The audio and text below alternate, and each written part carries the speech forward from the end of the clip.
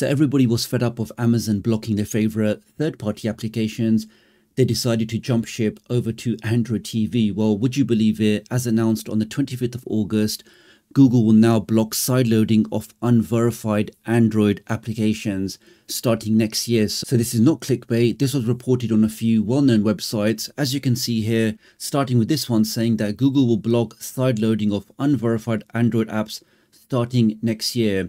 And Google said this is no different to checking IDs at the airport. So now they're doing it from a security perspective that if they can't verify these developers of these applications, then unfortunately you cannot install them onto these devices. Now, I won't read the whole article here, but essentially they're saying that obviously the Play Store has been a lot more open than the Apple App Store Apple have always been notoriously known for being, they're very closed off. They're extremely strict on what gets allowed in the Apple App Store. And looks like now Google will follow suit and start implementing these measures on the Google Play Store. It says that the company described this as an ID check at the airport. And since they required all Google Play developers to verify their identities in 2023, it has seen a big drop in malware and also fraud. And this is the key point, guys. It says Google says that only apps with verified identities will be installable on certified Android devices, which is virtually every Android based device. If the device has Google services on it, it's a certified device.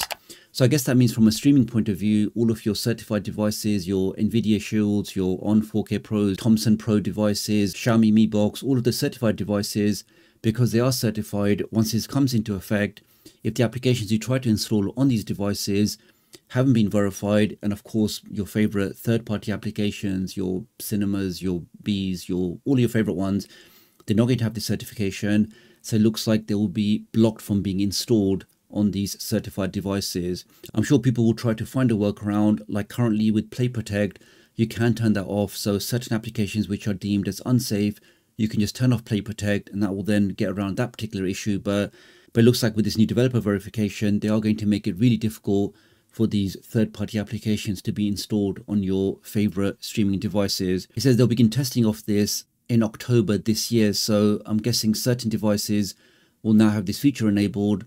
And from that point forward, if the application you try to install hasn't been verified, is just uh, not going to be able to be installed. So it is a, a massive shift. And one of the things that people love about Android TV is that generally it is fairly open. You can more or less sideload your favorite applications, just enable the installation of unknown sources and you can pretty much install wherever you like, whether it's your favorite application giving you access to streaming content, maybe it's an ad-free version of you know YouTube, or there's lots of things that people install on their Android TVs, but but it looks like with these new changes, they are going to be really strict on what you can install on these devices. The article ends by saying that they don't explain what would happen if you try to install a non-verified app or how these devices will check for verification status. But like with most things, we have to wait for this feature to be released and then you know, people can try and work out if there's any ways around it. Is there something you can turn off? Is there a service that you can potentially disable to stop this? Because ultimately, these are your devices. If you've paid for a device yourself, then I should be free to install whichever application I like. I don't care about the security implications. I don't care about the safety implications.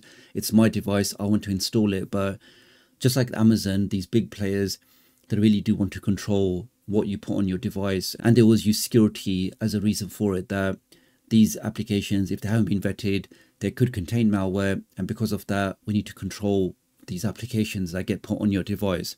Now, we can see some of the comments here. You can see people are very frustrated that if people wanted this kind of restrictions, they'll be using Apple devices. Now, the comment here says that this isn't about apps, it's about control. The feds want to be sure that they can track who's creating these apps, so they can control the spread of government disapproved apps. So do leave me a comment below what you think about this, but you can see generally people are very, very frustrated where Android is now going to be more restrictive, really blocking out any applications they feel are not safe if they haven't been fully verified. So, and just on the other article, we can see on Engadget that again, similar kind of stuff. And Google are saying this is because they are trying to protect users from bad actors spreading malware and scams. So again, they're saying it's a security reason. That's why they're trying to enforce or lock down which applications you can use on your own devices. I think they actually mentioned here that this will start rolling out in late 2026 and it will start with these countries first. And then a global rollout will follow at a later date. So it is pretty shocking, guys. But in some ways, you could say it's not a surprise because these big players are really trying to control and they're not happy with these third party applications. Maybe because they provide access to certain content Maybe they give you access to certain content without adverts, like YouTube, for example. There's lots of applications out there, and Google wants to make sure that only the applications they approve of you can install it on your devices. So very, very frustrating, but it looks like this is how it will play on the Android TV side. So that's pretty much for this video, guys. Many thanks for watching. Do leave me a comment below. Let me know what you think about this news. Are you fed up? Are you frustrated? Or do you not care? Really appreciate your support. Do like and share this video, and I'll hopefully catch up with you guys real soon. Thanks.